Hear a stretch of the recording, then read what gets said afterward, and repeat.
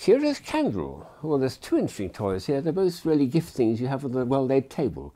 This first one, very strange, because the candle's now going to burn, and perhaps about perhaps two hours later, as the wax slowly used, gets used up, this counterweight gradually lifts it up in the air.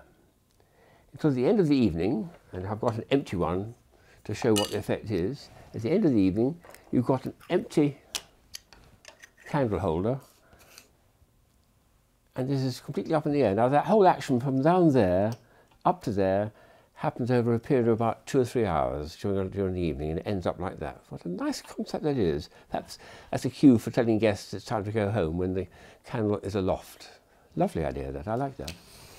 And another one for the well-known table is this one here, which I picked up in Amsterdam. An upside down glass? Well, if you were unfortunate enough to say, oh, I'd better have some wine and do that, what would happen is glug, glug, glug, glug, glug, the liquid that's in there would come out because this is actually a little tiny decanter for the wine.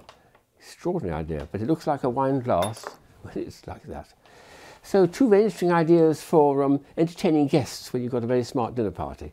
A candle that slowly lifts up over two hours and a glass that's not a glass, it's a little wine decanter and I think that's very tasteful.